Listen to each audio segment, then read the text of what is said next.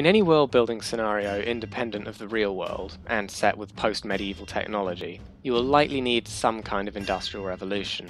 Uh, so, what exactly is an industrial revolution? Well, the first thing to bear in mind is that, unlike the development of agriculture, we have a sample size of exactly one here. This means to an extent you should take everything I'm going to say with a grain of salt. That said, why did the industrialization start at the place and time it did? The Industrial Revolution started in Britain in the late 1700s and expanded around the world from there, ending sometime between 1820 and just never, considering how fast technology is still advancing. Its start is often conflated with the invention of the steam engine, but the steam engine was first invented by Greek, Roman, Egyptian mathematician and engineer Hero of Alexandria, who, amongst other things, created the Aeolipile, a very rudimentary steam powered engine. Instead, some of the most important machines invented for the Industrial Revolution were actually invented in the prior British Agricultural Revolution.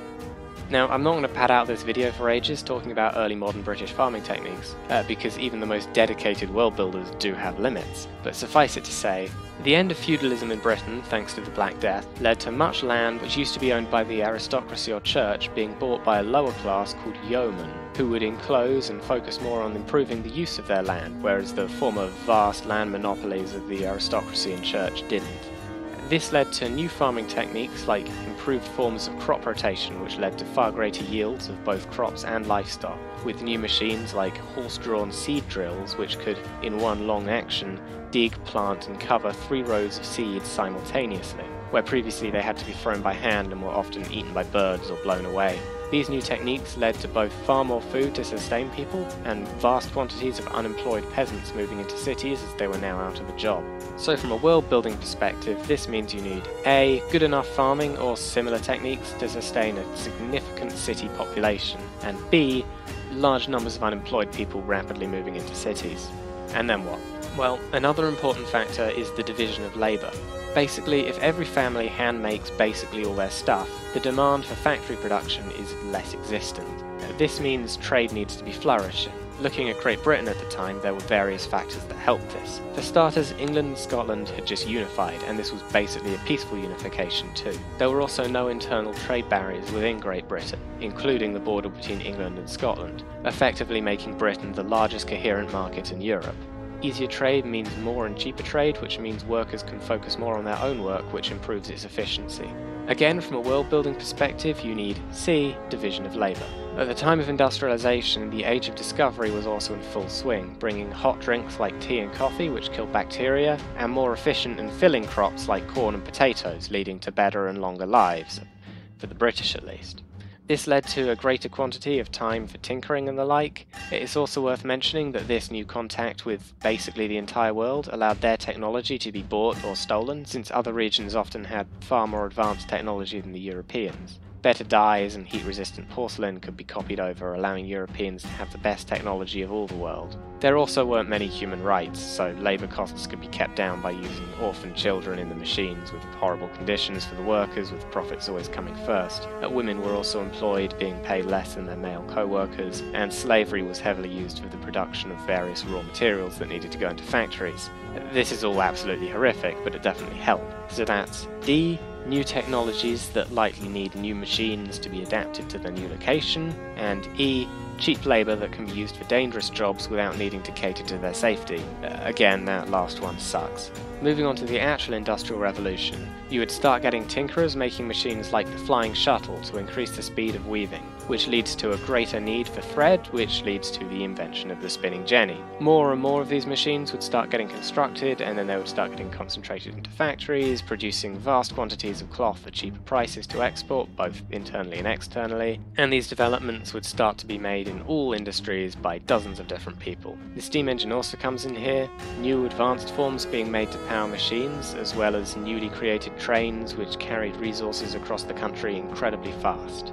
These of course lead to requirement F, coal or coal equivalent, relative abundance of coal in Britain and the cheap and rightless workers to risk their lives mining it were needed. From here, industrialisation is very distinctly existent and will continue to snowball into existence. But this doesn't mean everyone will like it.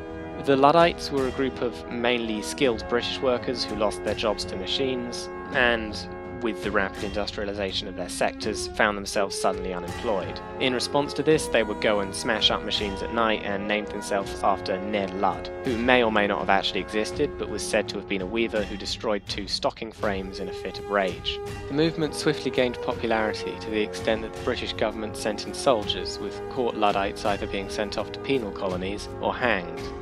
This included the hanging of children. I wouldn't say that this level of brutality is really necessary in any world building scenario, but you are dealing with what is very much going to be a pre industrial leadership. It also leads on to what happens next. At this stage, at least within the real Industrial Revolution, you could broadly split people between those who owned all the machines and those who actually used them, with basically no overlap. These classes can generally be called the bourgeoisie and the proletariat, with the means of production being owned by the bourgeoisie. And this is the atmosphere that led to the idea of seizing the means of production for the people and hippity hoppity abolish private property. There is also the middle class, formed of people who do more independent jobs like doctors or teachers, and in general the middle class will grow over time. As they're more condensed together and likely in far worse conditions than they would have had as farmers, workers are likely to start forming basic groups for mutual aid, which will later grow into unions, which directly negotiate with their employers to improve conditions for workers, with the threat of going on strike if conditions are not improved. And the employers would, and generally still do, act to try and prevent their workers unionising, mainly by firing the ringleaders before they can organise. In terms of world building, industrialization led to additional labour movements for people all over the place, so I think it's fairly safe to say it's a natural consequence of industrialization. These left wing worker movements also weren't contained within industrialized nations. Communism was originally described as something that would arise in industrialized nations, with the factory working proletariat overthrowing those who owned the means of production. Uh, but instead, it first arose in the distinctly unindustrialized Tsarist Russia, and later the similarly unindustrialized China. I can't really say whether this is a natural conclusion of industrialization, there were plenty of other reasons why Russia and China became communist, but it's an interesting idea that industrialization leads to labor movements which then radicalize outside of the industrialized world, leading to unindustrialized powers becoming communist, rapidly industrializing, and then creating a perfect World War scenario. Of course, the actual World Wars weren't between capitalists and communists, they were caused by nationalism. So, nationalism is less explicitly caused by industrialization, but long story short, the Industrial Revolution led to more integrated nation encompassing economies and nationwide public spheres, making it far easier for people to identify with their country as a whole. This would then be generally encouraged by the establishment because it's basically just people becoming more loyal to them at no cost, and as such grow further. This would again cross boundaries and have mixed effects on larger, more multi ethnic countries. Russia, for example, focused on educational indoctrination of a pan Slavic identity, which broadly held together the empire, and fueled wars against the Ottoman Empire to liberate the Orthodox Slavic nations it held. In contrast, the Ottomans did less, and so rising nationalism within all of its territories led to countries like Serbia breaking away and generally leading to its collapse. This would also risk colonial empires, like how almost the entirety of Latin America broke away from Spain in the early 1800s, partially thanks to a Spanish war with Britain in which the British Royal Navy cut off its contact with the colonies, allowing nationalism to flourish.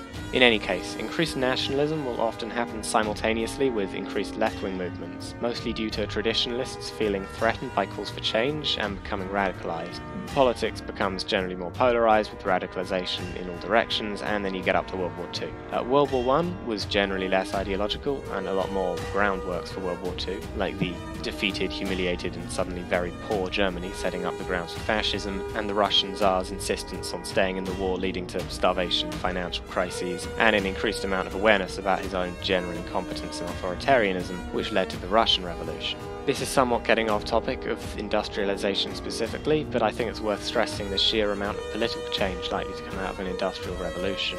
Swiftly moving on to economics then, at least within Britain and most of the Western world, as industrialization progressed and after the passing of the World Wars, worker rights increased and manufacturing started to become cheaper to get from other, still industrializing countries which had less good worker rights. Exactly what happens here probably depends heavily on scenario though, so I'm going to wrap up here.